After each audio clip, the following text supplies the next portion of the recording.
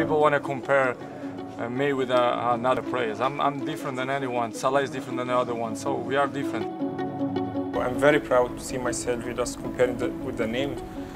But you know, as I said, it's a, it's a final game. It's not about uh, Salah or Ronaldo or someone else. It's about the clubs.